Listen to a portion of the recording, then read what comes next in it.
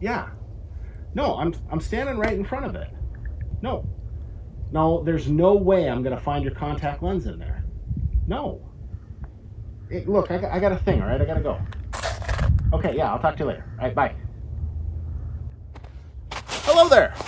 Welcome to my show. We here at Wrinkled Apron Productions want to make a show about food and cooking and culture. But Mac, you ask. That's me. I'm Mac.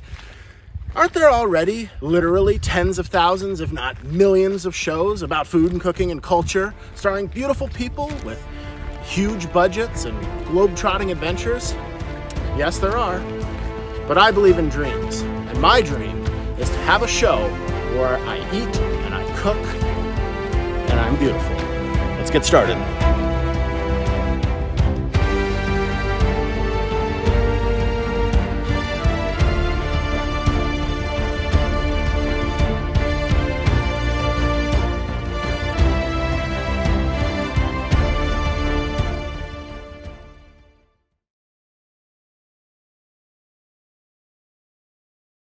All right, folks, welcome to the War Room. Today, our topic is salmon.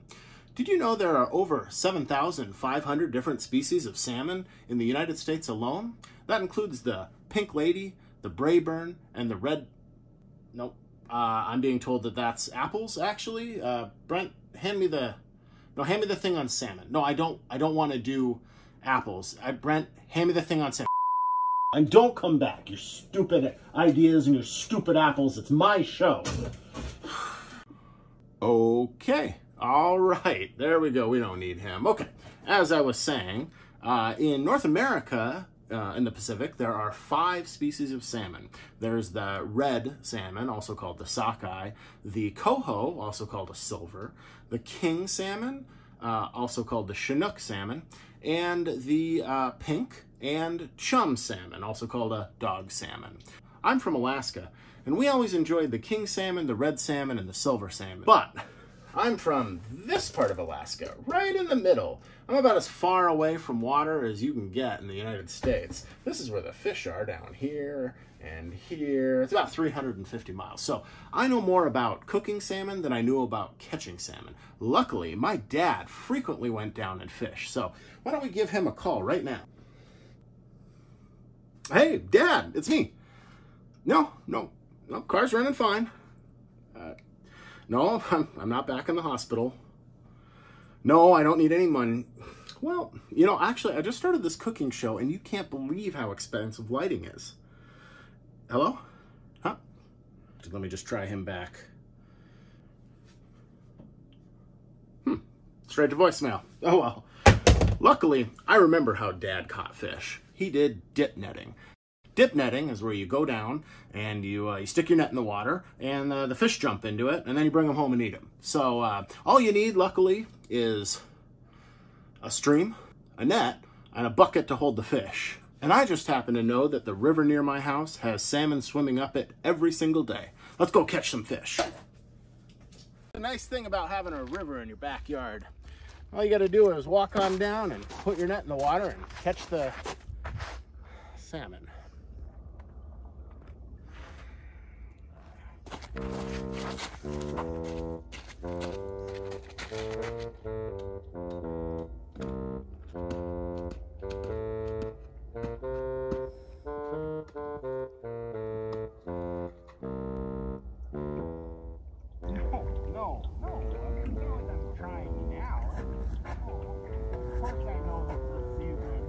I mean, I mean, I'm not that bad.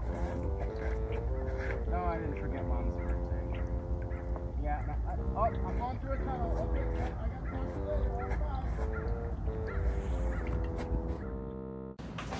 That was a disaster, but luckily I still have one piece of salmon here. So we're gonna do salmon a la. It's one of my favorite recipes and it's super simple. It has one ingredient, salt. Optionally, you can also use pepper, which I like to do. And for the recipe, we're probably gonna need some tongs, a fork helps, and a lidded pan. Now, the pan should be non-stick and as heavy as you can. We want it to retain heat and get it really hot. So also, part of the recipe is steaming the fish. So if we have a really large pan and a small piece of fish, we have to fill the whole pan with steam before we get any good cooking action. So try to use a pan that's roughly the size of the fish. So let's get started. Okay, first things first, we're gonna do some salt. Make sure you get all sides, including the skin. Next, some pepper. That's optional. Get your cooktop positioned, nice and hot. The first time I did this, I set it for 350. Uh, I ended up taking it off, turning it up to 450, let the pan get hot, then put it in. Note that there was no oil. This is a little time lapse, having fun with the photography. It fries from the bottom and the entire dish steams. And then we'll check it. Ooh, just a tiny bit rare right in the middle, which is awesome. All right, nice crispy bottom, still edible, but a little bit charry. And now a little taste. Don't forget the skin.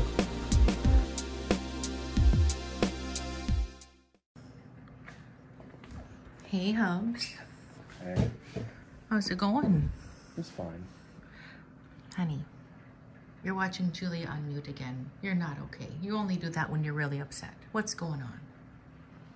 Well, I, I just I wanted to do this whole cooking show and about salmon.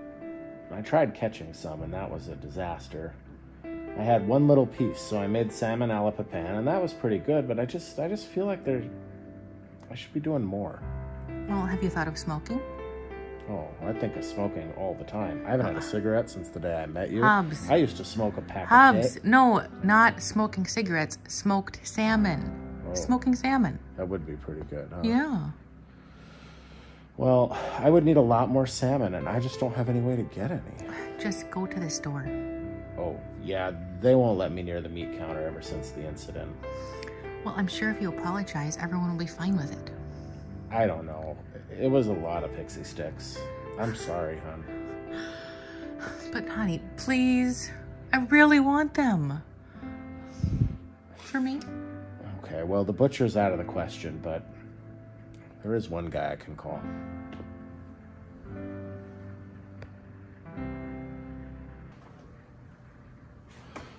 Okay, he's gonna be here any second. He's a fixer known only as the Norwegian. Nobody knows where he's from, but I did a favor for him back in the early aughts and he owes me. So, uh, he's gonna be here any second. Oh man, this guy's serious business. Oh, he's here. Okay, he hates he hates eye contact and people that are taller of him. Look short, look short.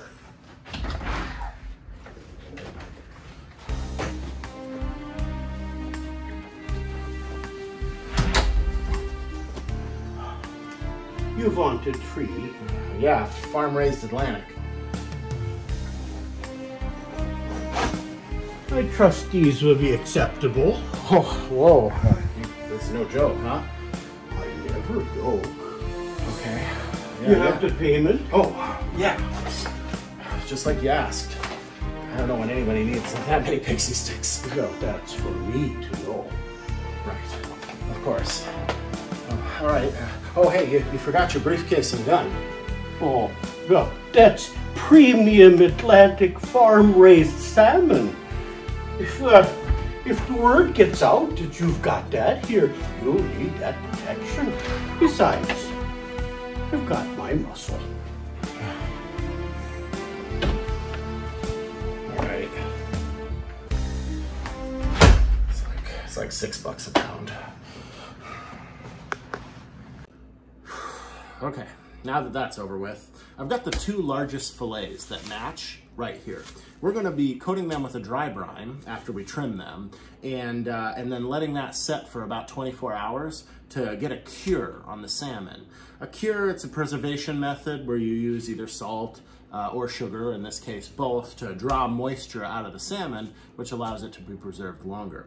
Uh, so we're gonna coat both sides, we'll end up putting them together like a sandwich, uh, pressing out a lot of the moisture overnight, and then we'll put them in the smoker tomorrow and cold smoke them. So uh, I'm using Alton Brown's recipe. He does like a cup of kosher salt, half a cup of brown sugar, half a cup of white sugar, which is a one-to-one salt-sugar ratio.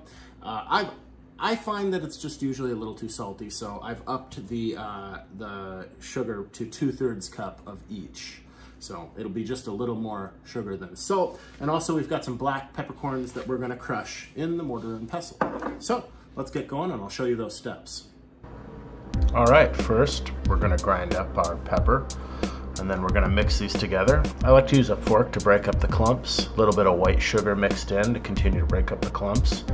Once the clumps are all done, include the salt, don't forget your pepper, and then lay out the fillets for trimming. I like to trim off all the belly fat. Sometimes you gotta saw it. And also get the tails. What we're looking for is trying to make mostly uniform thickness and also it fits better in the smoker uh, if it's a little shorter. So save these trimmed ends. They fry up really quick and nicely for an easy breakfast with eggs. All right, next we're gonna lay down some cure in roughly the shape of the filet. Put skin down and then continue to place cure on top of both fillets. Now honestly, I should have probably done triple the cure. I didn't get the cure I wanted out of this, but continue to rub cure on all sides, including the top, and then wrap it up as best you can. As this cure leaches moisture out of the salmon, you're going to end up with kind of this sticky salmon goop that's going to want to run everywhere. After this, I went ahead and did like a spiral wrap to get it nice and tight, try to keep as much of that cure liquid in. And then I placed it in a couple of uh, Walmart shopping bags so that if any does leak out, hopefully it'll be caught by the bags and doesn't end up in my cooler.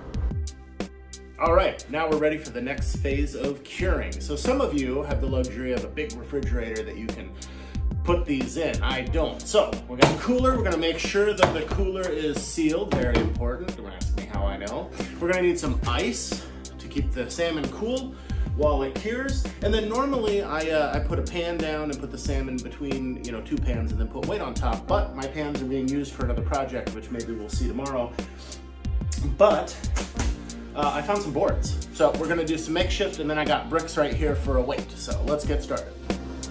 All right, this is pretty self-explanatory. Put in the ice, lay down your bottom board, the salmon, another flat board on top, put in your weight, stack it up. Oh, whoa. All right, put a little board in there for bracing. And there. Yeah. Um, uh, ah. Okay, there we go.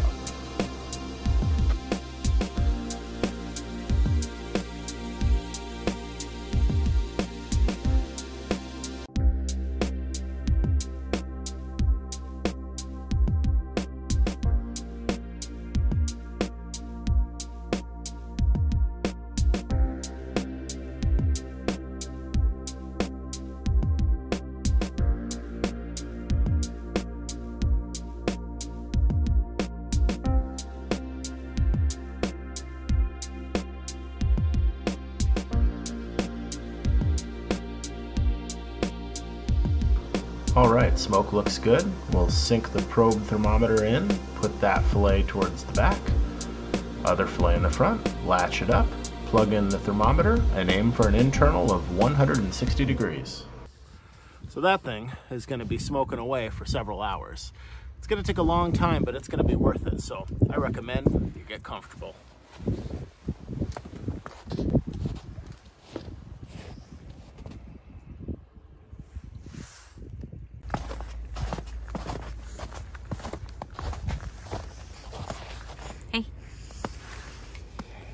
Hey. Huh? Oh, hey, what's up? I'm hungry.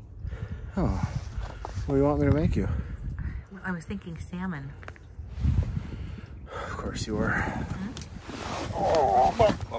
All right, this recipe is called salmon en papillote, and it's an extremely easy recipe, the way I like all my salmon recipes. So start off with some lemon, some extra virgin olive oil, smear it in the middle of the folded piece of aluminum foil. You want to make sure that the fillets have a light coating on all sides. Position, because we're going to make a pouch. A little bit of salt. A little bit of pepper. Put the lemon slices. And then I like to put a little piece of butter in the middle And then what I find is that the lemon juice, the salmon juice, the butter, and that extra bit of extra virgin olive oil I put on will make a nice sauce. So fold this up tightly and put it in a preheated 400 degree oven for about 20 minutes. Let's make a quick broccoli dish. A little bit of water in a sealable pan, dump the broccoli in.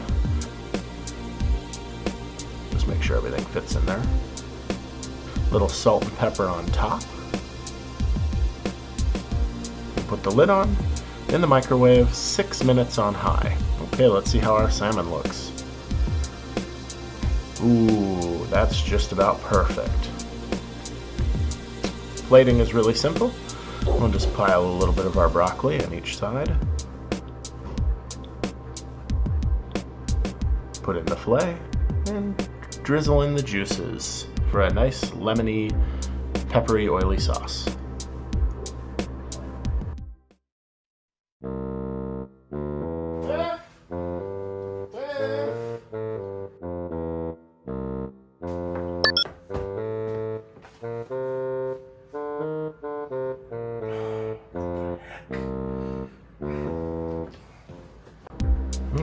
Sushi reminded me of the onigirazu, which is brown rice, carrot, cucumber, salmon, cream cheese, and it's all wrapped in nori. So first, let's start with some veg prep. And we'll just hurry up and speed this up, peel our cucumbers and our carrots, and then we're gonna julienne them. Seed the cucumber first, and then get our little spears. Aim for about 3 inches because we're using 3 inch cake ring molds to build our sandwiches. Okay, first lay down a sheet of nori, put in the cake ring, load up with a layer of brown rice and pack it down with the packer. Next some carrot, cucumber, crumble in some cream cheese, pile in the salmon, another layer of veg. After, oh, knock down the camera. Alright. Okay, pack down the layers we have, and then we'll do more carrot, more cucumber, another layer of rice, and pack that down. It can be a little tricky to uh, get the cake ring off, so it might be a good idea to lightly oil it, but it should slide off easy enough put that back together, and now wrap with the nori. Once you have the nori around, then wrap with the sheet of plastic wrap that you have underneath. Try to get it nice and tight so it stays together when you cut it. And that is the onigirazu sandwich. All right, and that's the show. A special thanks to the government of Norway for letting us film the Norwegian. Special thanks to the boys over at Shut Up and Sit Down. They've really been an inspiration to shooting this shot. Special thanks to Whiff for letting me get away with everything she does. If you'd like to see more, please like and subscribe and leave supporting comments. We'll see you next time.